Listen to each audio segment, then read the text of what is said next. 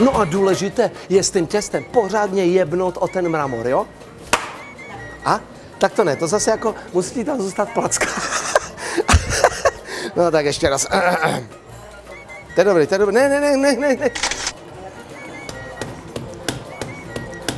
No a když se ti to jako nepovede a máš v tom jako moc velké díry, tak to všecko smícháš do kupy, rozumíš, jo? A normálně to mrskneš pod chyně, jo? Čum na to.